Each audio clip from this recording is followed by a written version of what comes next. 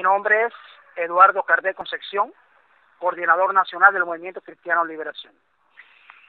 Los días 10 y 11 de abril se celebrará en la ciudad de Panamá la séptima cumbre hemisférica, donde deben de participar alrededor de 35 eh, representaciones de los estados eh, que así forman eh, nuestro hemisferio occidental.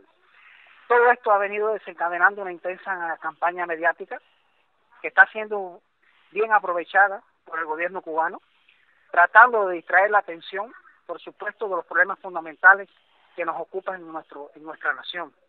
Desgraciadamente seguimos sufriendo este prolongado totalitarismo, continúa la represión, la persecución, la golpiza, la falta prolongada de derechos, la mutilación de, de los mismos, siguen encarceladas personas por motivos políticos, se sigue encarcelando, persiguiendo a personas por motivos políticos, a contrapelo de las declaraciones del cardenal con las cuales no estamos de acuerdo, pero nosotros continuamos trabajando día a día.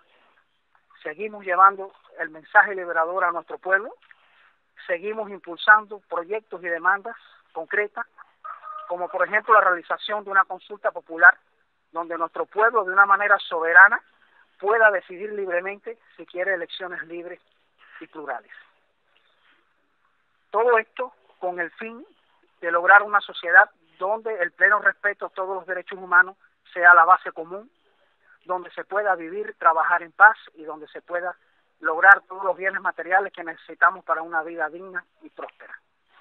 Es hora que los gobiernos participantes en esta cumbre sean coherentes con los principios democráticos que supuestamente defienden y respalden a nuestro pueblo en las demandas concretas que estamos haciendo. Así vemos la verdadera y auténtica solidaridad. Es hora ya de que termine esta prolongada dictadura, este monopolio totalitario del Partido Comunista en Cuba durante 56 años. Por eso estamos exigiendo elecciones libres y plurales. Es hora ya de que termine tanta represión, tanta injusticia y que nuestro país se inserte en el concierto de naciones verdaderamente democráticas.